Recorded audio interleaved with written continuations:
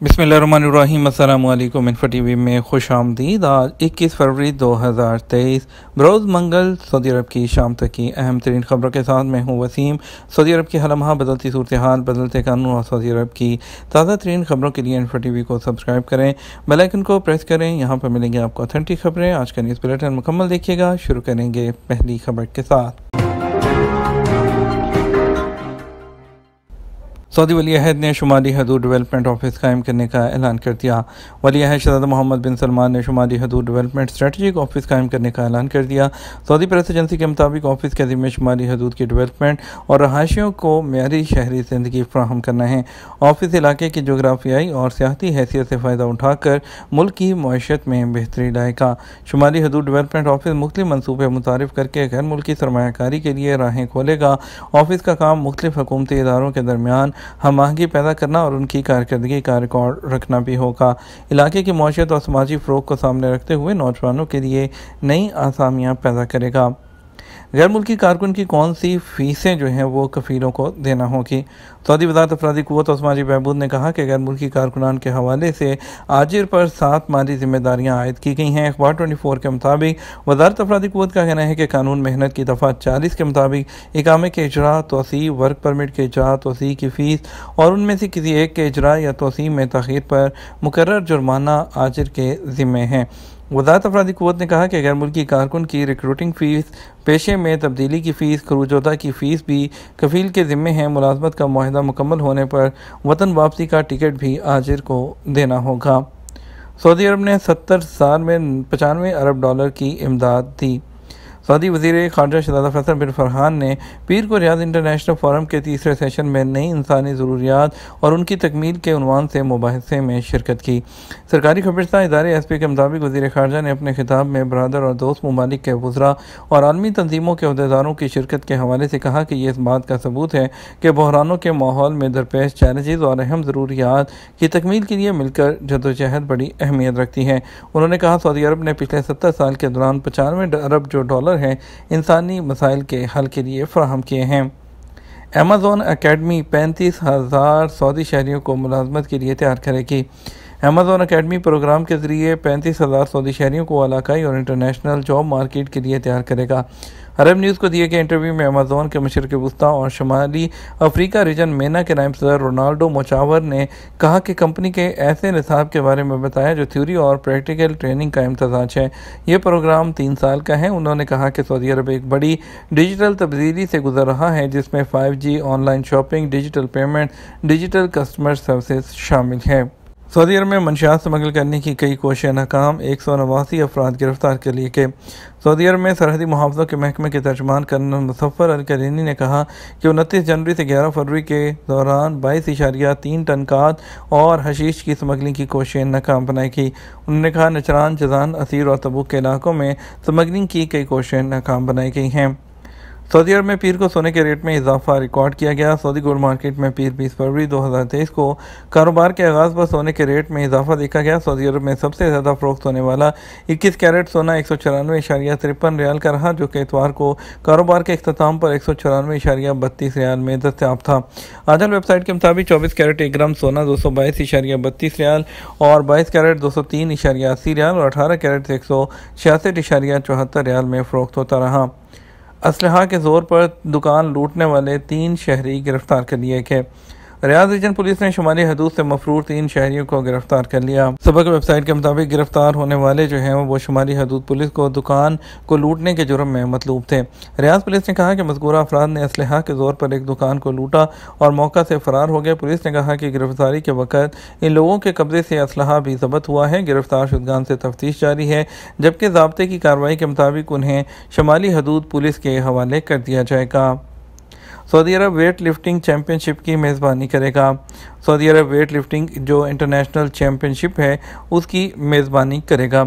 सबक वेबसाइट के मुताबिक सऊदी वेट लिफ्टिंग लीग और इंटरनेशनल वेट लिफ्टिंग लीग के दरमियान एग्रीमेंट हो गया।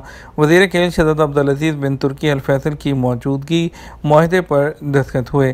सऊदी वेट लिफ्टिंग इंतजामिया ने कहा कि सऊदी अरब में होने वाले बैन अवी मुकाबले दरअसल पेरिस में दो हज़ार चौबीस के दौरान ओलंपिक मुकाबलों का क्वालिफाइंग राउंड होंगे। ओलंपिक मुकाबलों में दुनिया के एक सौ तीस मुल्कों से पंद्रह सौ वेट लिफ्टर्स शिरकत करेंगे। जद्दा के तारीखी इलाके अलबलद में कारोबारी मराकज़ खोले जाएँगे। सऊदी अरब में जद्दा के तारीखी इलाके के अहिया और तंजीम नौ प्रोग्राम के तहत सरमाकारों को कारोबार के मौाक़े के फ्राहम किए जा रहे हैं। सौ से चौदह साल पुरानी जो है तारीखी इमारतों की बहाली और तंजीम नौ के बाद तारीखी इलाकों में दुकानें, दफातर और कारोबारी मराकज़ खोले जाएँगे। सऊदी खबरसा इदारे एस पी के मुताबिक प्रोग्राम का मकसद जद्दा के तारीखी इलाके का या उसकी काबिल दीद कदीम इमारतों को उजागर करना और कारोबारी हैसियत को मुस्तकम बनाना है। कहा, इस इलाके को मुख्तु किस्म की तजारती सरगर्मियों का पुरकशिश मरकज़ बनाया जाएगा। खत्े के तारीखी वरसे से ताल्लुक़ रखने वाले कारोबारी मौाक़े पैदा किए जाएँगे। जद्दा में मेट्रो और पब्लिक ट्रांसपोर्ट प्लान के लिए सर्वे का आगाज़, सऊदी अरब के बैन अवी साहली शहर जद्दा में मेट्रो और पब्लिक ट्रांसपोर्ट प्लान पर अमल दरामद के पहले महल में सर्वे का आगाज़ किया जा रहा है। बैन अवी कंपनी इन दिनों प्रोजेक्ट्स पर काम करेगी। मुखाद अखबार के मुताबिक आठ सौ अफराद पर मुश्तमिल एक टीम को सर्वे करके जद्दा के तमाम इलाकों का डाटा जमा करने का टास्क दिया गया है। फ़ील्ड टीम में Mecca governorate, Jeddah municipality, Jeddah महकमा ट्रैफ़िक और प्रोजेक्ट ऑपरेट करने वाली कंपनी के नुमाइंदे शामिल हैं। फ़ील्ड टीम के अरकान मेट्रो प्रोजेक्ट को कामयाब बनाने और जाम पब्लिक ट्रांसपोर्ट को मौसर बनाने के लिए मालूम जमा करेंगे। सर्वे में अहम सवाल ये होगा कि मुलाजमीन और उनके अहल खाना घरों से दफातर और स्कूलों के लिए कब निकलते हैं? छुट्टियाँ और हफ्तावार छुट्टियों से मुतलिक डाटा जमा किया जाएगा। इसके अलावा ये भी सर्वे किया जाएगा कि एक फैमिली के अरकान कितनी गाड़ियाँ इस्तेमाल करते हैं और फैमिली के कितने मेम्बरान गाड़ियाँ चला रहे हैं। दोनों प्रोजेक्ट्स को कामयाब बनाने के लिए सर्वे की बुनियाद पर नया डाटा तैयार किया जा रहा है, जिससे जद्दा मेट्रो प्रोजेक्ट ऑपरेट करने वाली कंपनी को फ़ायदा होगा। मेट्रो का दायरा और बस सर्विस की फ्राहमी से मुतलिक ज़मीनी हक़ की बुनियाद पर मनसूबाबंदी की जाएगी। दफातर स्कूलों और सरकारी महकमों तक बस सर्विस का जाम प्लान तैयार किया जाएगा। ये भी देखा जाएगा कि शहर को ट्रैफ़िक क्रैश से बचाने के लिए क्या कुछ करना होगा? जद्दा म्यूनसिपलिटी का कहना है कि सर्वे कई महीने तक जारी रहेगा, इसके तहत अदाद शुमार जमा किए जाएँगे, शहर के अंदर और बाहरी रास्तों के पूरे नेटवर्क का मैप बनाया जाएगा। जद्दा म्यूनसिपलिटी ने तमाम इदारों, मुकामी शहरीों और मुकीम गैर मुल्कियों से कहा है कि वो सर्वे करने वाली टीमों से ताउन करें, किसी को मालूम फ्राहम करने से पहले इस बात का इतमान कर लें कि सवाल करने वाले का ताल्लुक सर्वे टीम से है भी या नहीं। इलेक्ट्रॉनिक गाड़ियाँ जो हैं, उसकी 12 मिनट में चार्जिंग सऊदी स्कॉलर्स ने जदीद सिस्टम तैयार कर लिया। Saudi scholar doctor Yahya Al Qahtani ने इलेक्ट्रॉनिक गाड़ियों की बैटरी 12 मिनट में चार्ज करने के लिए जदीद सिस्टम तैयार कर लिया। डॉक्टर याहिया अल कहतानी अमरीका की हार्वर्ड यूनिवर्सिटी में तदरीसी खदमात अंजाम दे रहे हैं। अलिकसादिया के मुताबिक सऊदी स्कॉलर डॉक्टर कहतानी ने जो इलेक्ट्रॉनिक गाड़ियों की बैटरी की जदीद टेक्नोलॉजी पर काम किया है, सऊदी अरब में इलेक्ट्रॉनिक जो गाड़ियाँ हैं प्रोजेक्ट के इनिशिएटिव को मदद मिली है। उन्होंने इस प्रोजेक्ट के हवाले से बताया कि एक रिसर्च प्रोजेक्ट है, जिसके तहत इलेक्ट्रिक गाड़ियों की बैटरियाँ सिर्फ़ बारह मिनट बारह मिनट जो है उसमें चार्ज हो सकेंगी। अब तक इस किस्म की गाड़ियों की बैटरी चार्ज करने में घंटों लगते हैं।